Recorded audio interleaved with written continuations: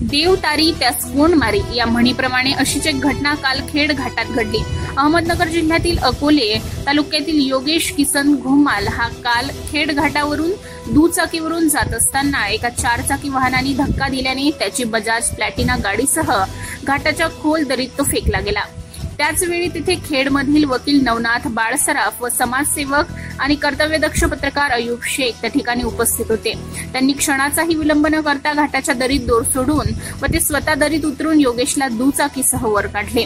निगडीहून माळींला वृक्षारोपण करण्यासाठी go green संस्थेचे प्रशांत भालेराव मयूर चव्हाण नरेंद्र शिंदे शफी हैदर सय्यद समीर एरंडे सौरभ कवडे यांनी देखील योगेशला बाहेर काढण्यासाठी मदत केली. विशेष म्हणजे घाटात कोणत्याही प्रकारची ट्रॅफिक जाम न होऊ देता योगेशला बाहेर काढले. या धाडशी कामासाठी अयुब शेख सर्वांना परिचित आहेत. त्यातच काल केलेल्या कार्यामुळे त्यांच्या नागरिकांकडून मोठ्या कौतुक केले जात आहे. योगेश गोमले मी. हां. मागून गाडी पलटी झाली. हां. खेड तालुक्यात. हां. काय झालं? आठशे टाका लागला होता माझ्या गाडीचा. हां. बस. कोणाला लागला धक्का? फोर व्हीलर आला तुझ्या गाडीला लागला? हां. नंतर काय झालं? गाडी कुठं पडली? खाली पडली.